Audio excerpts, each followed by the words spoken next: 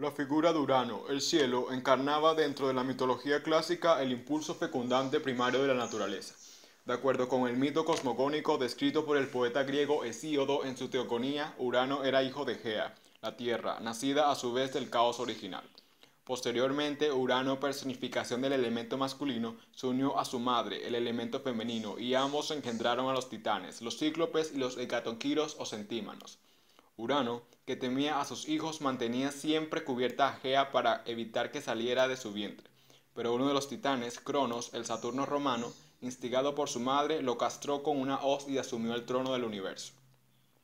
Las gotas de sangre vertidas por Urano sobre la Tierra dieron origen a los gigantes, las erinias y las melíades, en tanto que los genitales cayeron al mar y formaron una espuma de la que nacería la diosa del amor, Afrodita.